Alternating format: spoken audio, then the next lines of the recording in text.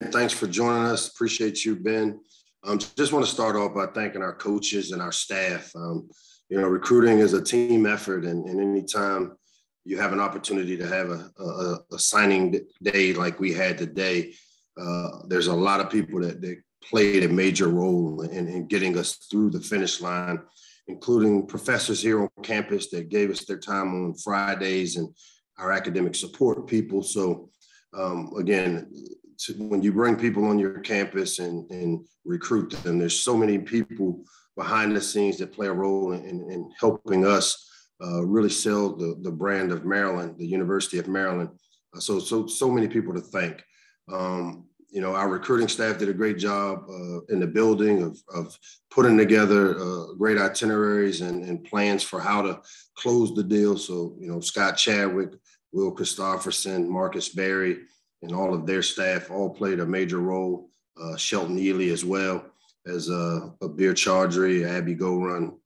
Um, try not to leave anybody's names off because they'll be upset. But you know, this is the day where you want to thank those people because so many little things go into this recruiting process. And you know, everybody talks about me as a closer and our coaching staff and how they recruit, but there's a lot of other people that played a major role in this. Um, we signed a lot of high quality kids today. And as I've said uh, to our staff, when you look at this class as a whole, and I think I've said this to each one of these guys, you know, I, I really do see this class being kind of the DNA of the player driven culture that we're working to create here. Um, there's a number of these guys that have served as team captains. Uh, quite a few come from programs where they built uh, the, their pro their high school programs from the ground up, similar to what we're doing here um, at Maryland. Uh, and a lot of these guys, you know, have shown tremendous leadership qualities. And you know, this class may not rank as high as maybe some of the other classes that we've had before, but I can tell you when it comes to character, leadership, uh, the, the, the, the, the, intangibles that it takes to, to create a player driven culture I feel really, really good about this class and each and one of these guys that, that make it up. Um, we kept a lot of local talent home, uh, which is our goal. Uh, you know, the goal is to keep the right local talent here. We won't get them all, but we need to make sure we get the right ones. And I feel like we did just that uh, as a staff. Um, you know, that's always a priority. I'm also excited that we have nine guys enrolling early, uh, mid mid year enrollees, and four of the nine are offensive linemen which allow us to really uh, replenish and, and add to that room, which to me is the, the maybe the last piece or the, the missing piece to us taking that gigantic step that we want to try to take this upcoming season. And to be able to have these guys here to go through spring ball up front, get into uh, jump start on lifting, conditioning, and training uh, will be really uh, beneficial for our program um, as we continue to, uh, to, to grow this thing. So um, with that, I'll open it up to questions from you guys.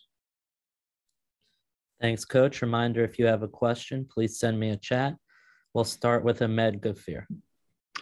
Hey, Coach. Um, obviously, getting a chance to uh, add Jaishawn Barham, Andre Roy this morning, um, just two uh, big elite guys, and for them to be local, uh, for them to come out of St. Frances. I mean, uh, how, how did that happen? And then what is the magnitude of, of those two signings? Uh, how did it happen? A lot of hard work, uh, pretty much a sleepless night. Um, you know, I can't tell you that I had any idea that it would happen, or you know, none of our coaches could say that we knew this would happen. But as with all our recruiting, our coaches just continue to remain very diligent in selling the Maryland brand. And uh, you know, we, we've recruited those guys for two, three years now.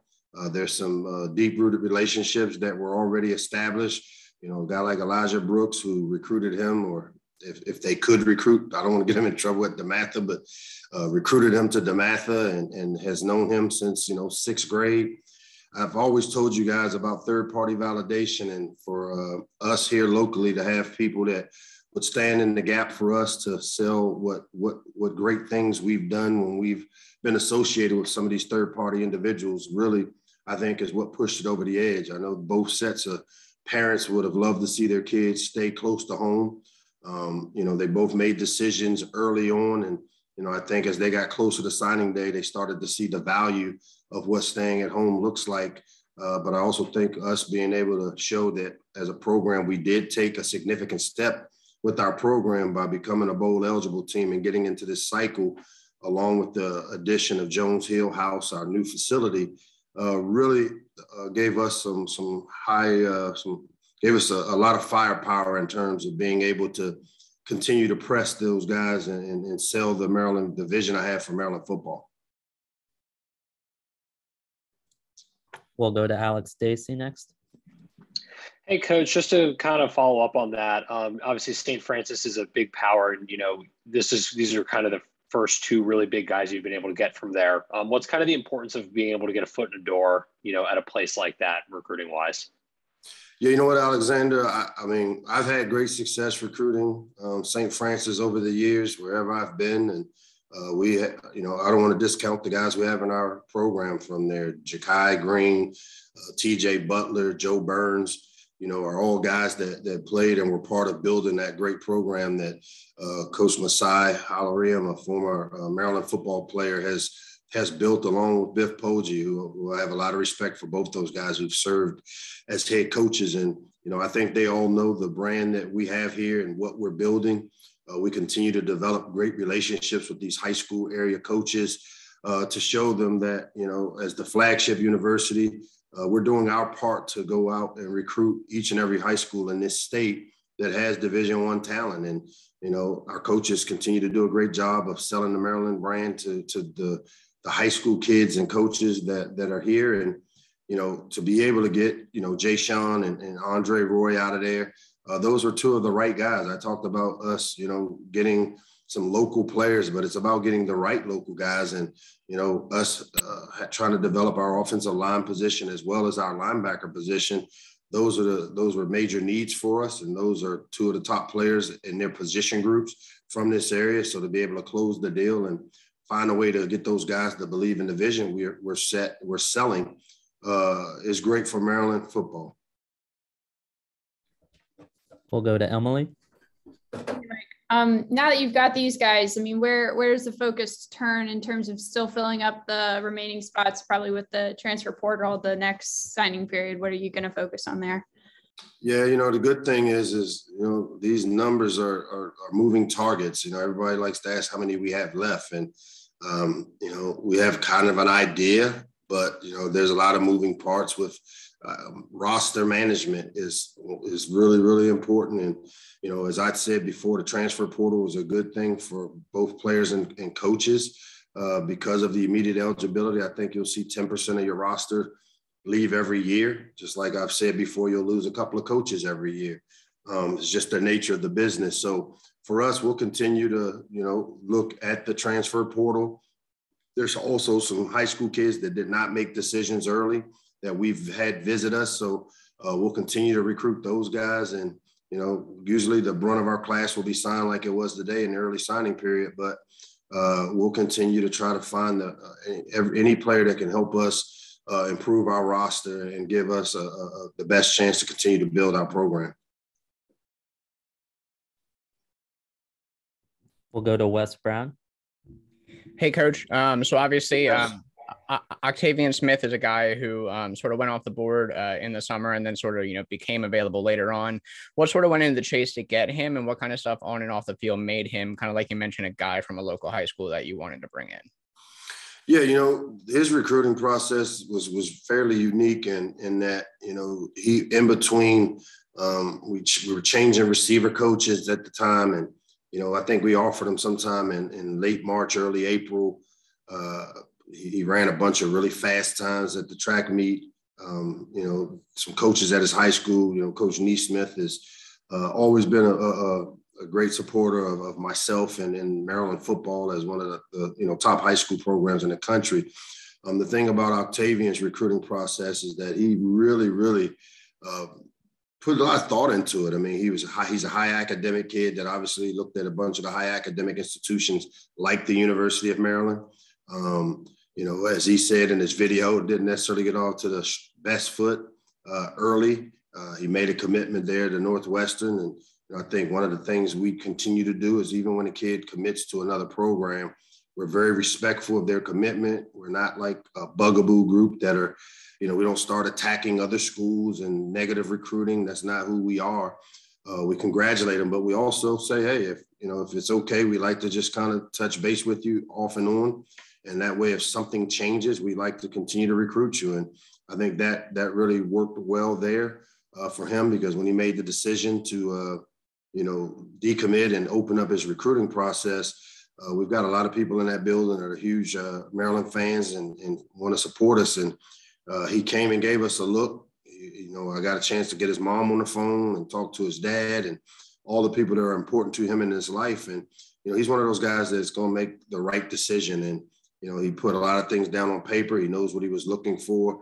And then when they came on their official visit, I think that just solidified for him, his mom, and his family that Maryland offered all the things they were looking for. And so we got us a, a, great leader, a guy that led Paint Branch, the Paint Branch program, I think to a semifinal uh, appearance.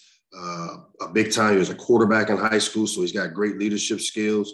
Uh, we obviously are transitioning him to the receiver position where, you know, we lose four or five guys at that position. And we, are adding a, a really talented playmaker on the offensive side of the ball with, with Octavian. We'll go to Scott Green next. Hey, Mike. Hey, Scott. Um, one of the late additions here today was Max McCree. Um, you know, he's a JUCO. Um, so can you kind of talk about, you know, what went into landing him and then how important it is to kind of have a more experienced offensive lineman in this class?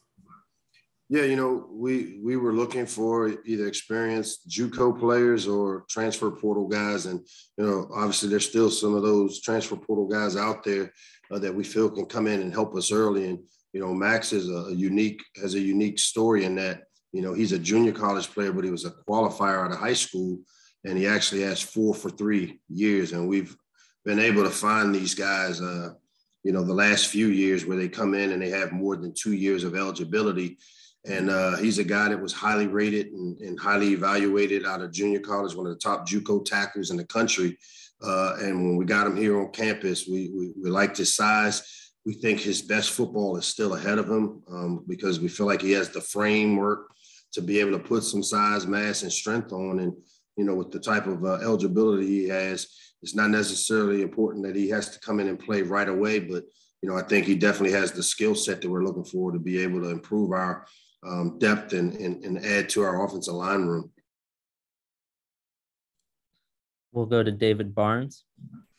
Uh, Coach, to follow up on uh, the question about the offensive line, how are these guys that are coming in, how do they reflect uh, any changes maybe you thought over having seen what the Big Ten is like, the defensive line and, the, and the, maybe the bigger guys in the offensive line uh, you've you've played up against. So where is your sort of recruiting thoughts changed now in your third year?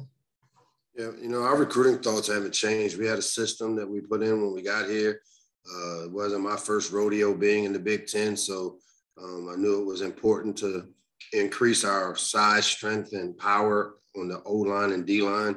We addressed the D line last year in recruiting. Uh, it's not something that you can kind of do in, in at one in one uh, one big recruiting class, and so we've had a plan on how we were going to attack it. And as you'll see this year, we're heavy loaded on offensive tackle body types. Uh, you know, we haven't had a bunch of tackle bodies. You know, we added DJ Glaze a year ago, uh, and some of the other tackles we took ended up being guards. So, if anything, the premium was taking length as well as guys that had the size potential to add weight and strength and power. And, and all these guys, I mean, you look at Andre Roy, uh, you, you, look at Maximus McCree. Um, you look at all these tackles bodies that we took. They, each and every one of those guys, uh, Nonar from down there and Kendrick, both have good size, uh, really broad frames, long arms, the things you look for um, in young linemen that I think you know you'll have a chance to build on. Does anyone have anything else? All right. Thanks, coach. All right, guys. Have a happy holidays if I don't see you. Thanks, everyone.